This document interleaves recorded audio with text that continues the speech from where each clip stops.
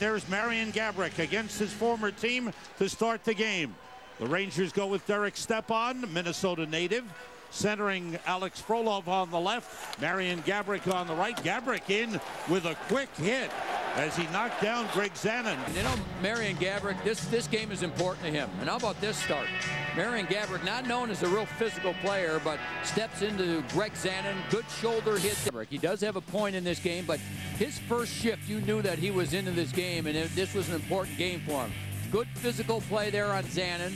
Then his next shift, he had a, a good opportunity, forced the goaltender, backs Backstrom, to make a good save. So he's been in the middle of a lot of things. He's taken hits, he's given hits, he has an assist, he's had some high-quality scoring chances. He's made some defensive plays in his own end and then continued to skate that have turned into scoring chances. So this has been a very good, solid, all-around game for Marian Gaborik.